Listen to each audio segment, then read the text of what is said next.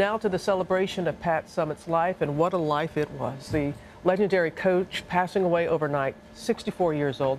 Yes, she set records, becoming the winningest coach in Division One college basketball history, but she also touched so many lives, inspiring players and fans all around the world. A legendary, unstoppable force, a pioneer in women's sports, and a fierce competitor. I don't know about y'all, but I want to win a national championship. An inspiration to millions, and also a longtime dear friend. How you doing? So good to see you. Named the NCAA Coach of the Year seven times. Pat Summitt coached the University of Tennessee's Lady Vols to eight national championships. And with 1,098 career victories, she's won more games than any coach in Division I college basketball history, men's or women's. Pat Summitt and Destiny. Quite simply, the definition of success. But before she was a college basketball legend, she was a girl from humble beginnings. And you slept in the same crib until you were six years old. That's Yes. poor. And I was still, I was pretty long.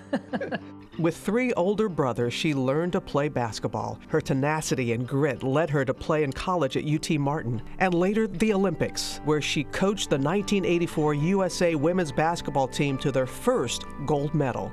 And as much as she was feared on the court, during her 38 seasons as coach, she was loved off of it. And in 2000, she was inducted into the Basketball Hall of Fame. But in 2011, she again made history. I've been so amazed at the response uh, to dementia and how I'm going to deal with it. announcing that she not only was diagnosed with early onset dementia, Alzheimer's type, but decided to continue coaching and fight her disease the only way she knew how on the court. How long do you think you can coach?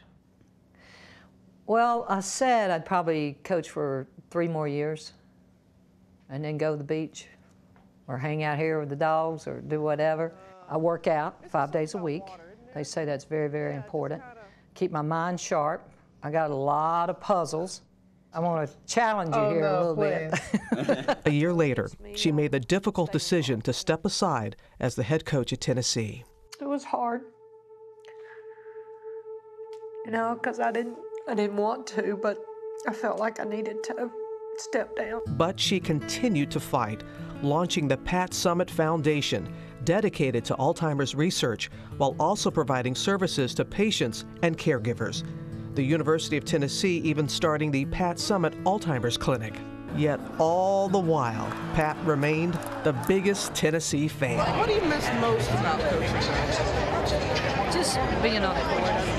In 2012, with her son and the light of her life, Tyler, by her side, she received ESPN's Arthur Ashe Award for courage. I'm going to keep on keeping on. I promise you that. Have you had the why me moment? Uh, you know, I've had a few of those. What is it that you want people to understand about you that can help them? It, it may not be the best the best thing, but you just got to make it what it is and just keep living your life. What I want to do is get other people to understand if you have dementia, you know, don't be afraid of it. Pat battled Alzheimer's using the same strength and dignity she once used on the court to fight the disease and the stigma that comes with it. And for that reason, and many more, to sum it up, Pat Summitt is and forever will be the ultimate champion. It's like once you're a Lady Vol. Always a lady ball. Always a Lady Vol. I, I don't have any more orange dresses. This is I, I, I, I did this uh, in honor of her and, and all these wonderful things, and we talked about earlier 100% graduation rate. Boy, she just wanted the best Yeah. for everyone. Great example. Yeah, she really was. And a great cook. She I had- was gonna ask she you had about two that. Ovens, two, two ovens in her kitchen, and she had both of them going at the same time. And, and uh, she's just going to be missed. She, is She going to be is. absolutely That was a missed. lovely tribute Yeah, to that her. really What an impact she's had on so many lives. Thank you.